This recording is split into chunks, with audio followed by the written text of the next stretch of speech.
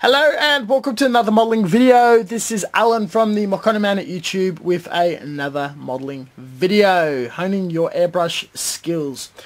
Going back to some of the beginners, a lot of people who learn how to airbrush have a couple of models under their belt and start encountering problems. A very common occurrence that I hear is as they're spraying primer or a base coat, the finish is uh, very gritty, very rough, almost looks like it's uh, sandpaper or orange peel. Um, after the uh, texture of an orange, it's all pitted or holy or uh, whatever. Now there is multiple things that can um, occur to cause this to happen and I've seen a lot of uh, forums, threads, Facebook when someone says orange peels occurring, what can they do? And there'll be about half a dozen different comments of how to remedy it if it's relevant to the person asking or not. This video will demonstrate and show all the steps you can take to eliminate orange peel. So the first thing is most of the time it's mechanical. So we have paint going in the cup, air flowing through, it pretty much atomizes and hits the surface. We're controlling many elements of how thin the paint is, the PSI, any moisture in the air, as well as how, how far the model is. And what normally causes orange peel is as the paint is flying from the nozzle wet and lands on the model wet, if the model's too far away or the conditions are not ideal, the paint dries mid-air and lands on the model in solid chunks and uh, just sits on there very very rough opposed to landing wet fusing together to the surface as well as the rest of the liquid putty state surface and getting a very nice smooth even finish. Normally all you have to do is bring the surface closer to the airbrush where it's not too close and it's pulling and creating ripples of uh, paint or too much paint on the surface. Though sometimes there is many other factors that may be causing orange peel besides it just being far too hot or your airbrush far too away from the model. Normally most guides say that uh, you should be between 1 foot to 20 centimeters away from the surface. I reckon once you paint enough you get an ideal what uh, gives you orange peel and what gives you a nice wet look. Generally I'm quite close to about 10 to 15 centimeters from a model.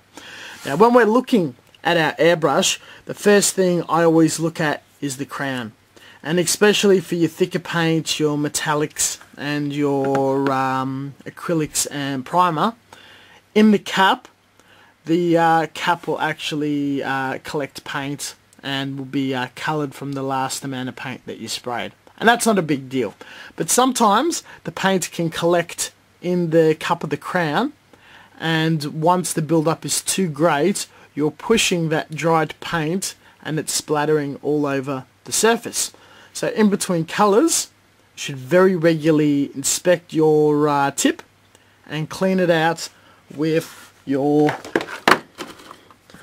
Q-tip with a bit of thinner, making sure that the needle is retracted or it's uh, quite separated.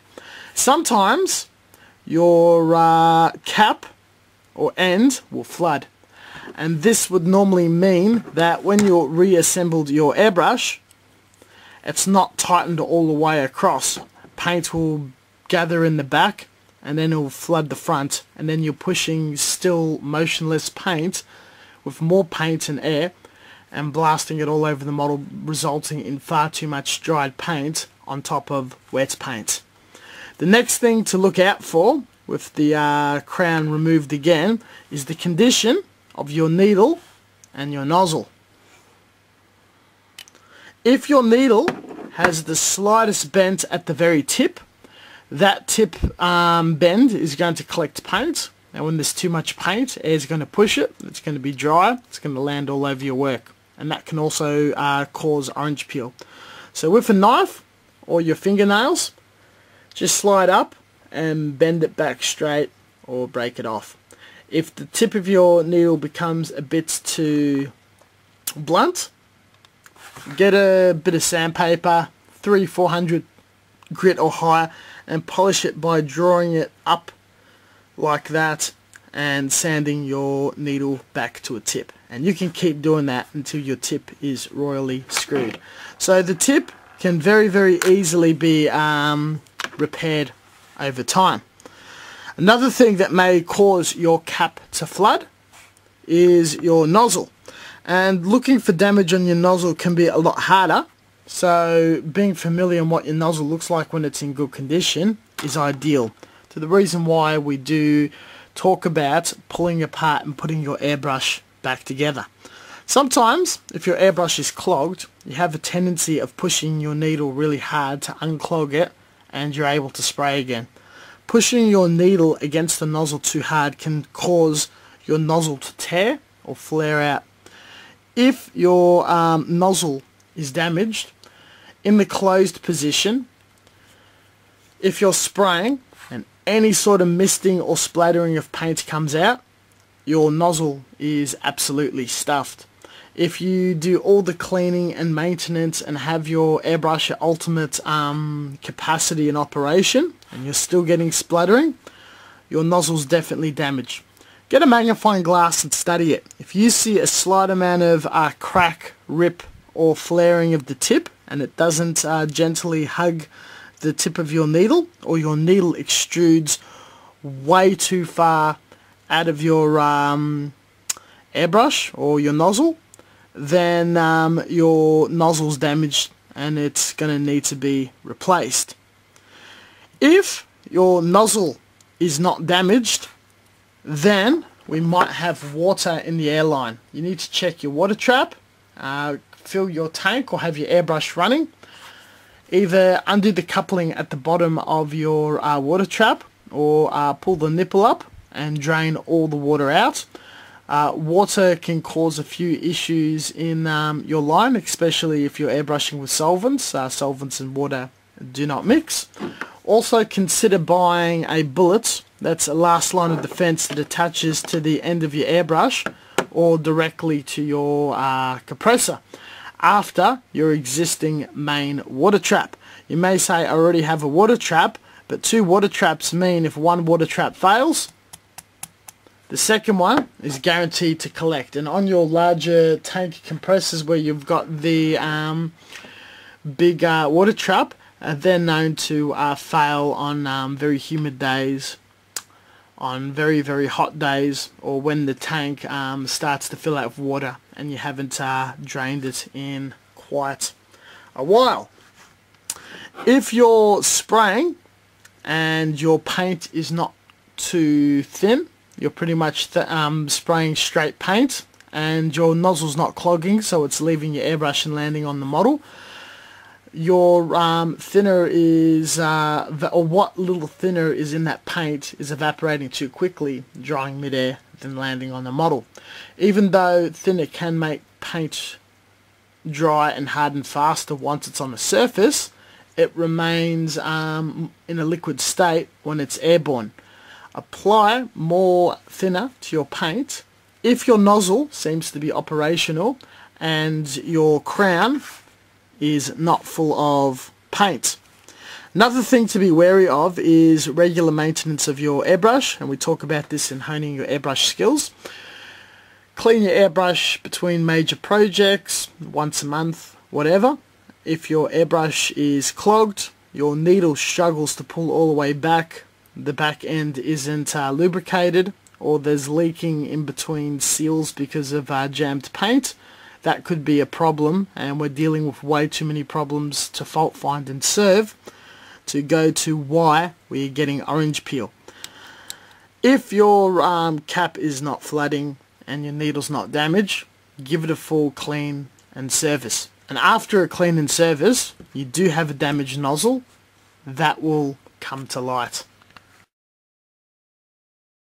So that's a few ways to prevent orange peel as you're airbrushing. If you've never uh, had orange peel before and you watch this video, it's just a few quick checks to look at your airbrush after you've um, sprayed a coat or put down a colour so you're not uh, ruining your work. If you do have orange peel, let's talk how to fix that. If your surface is um, quite bumpy, you applied your paint and it's got a bit of a texture to it, the first thing you can do is quickly rinse out your airbrush, fill it up with thinner, and dust on a bit of uh, thinner onto the model.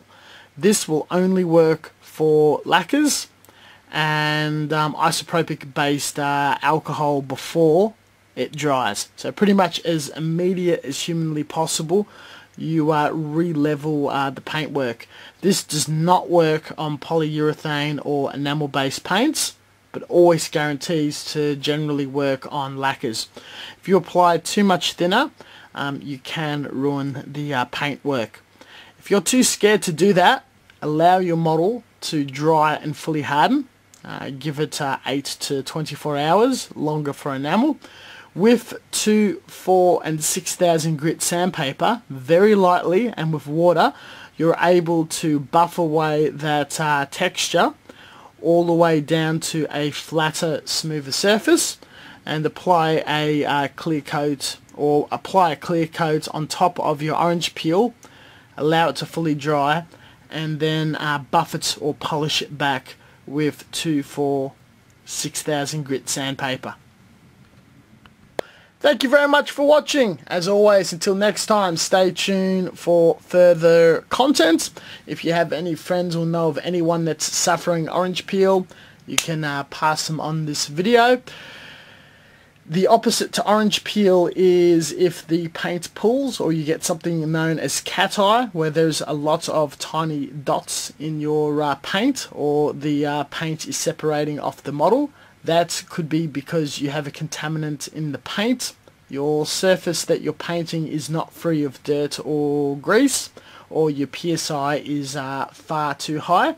That's very very easy to fix as cat eye or fish eye is uh, most guaranteed not based off the performance or damage that has occurred to your airbrush and can be fixed purely by the surface of the model, the PSI or if the paint is contaminated with a grease or an oil. Where um, orange peel, there's just so many factors. Generally, if you are airbrushing, the best temperatures to airbrush are generally um, anything under uh, 30 degrees. I find between 20 to 25 are absolutely ideal indoors with a fan or the uh, air conditioning uh, running if uh, there's any sort of announced humidity by the uh, news or the weather report, always, always avoid uh, hand painting or airbrushing as the environment is almost guaranteed to affect your work. Catch you guys later. Stay tuned until next time. Check out Facebook for further content. And if you have any questions about what we've talked about or other things, anything formed as a question in the comment section will always be addressed Catch you guys next time.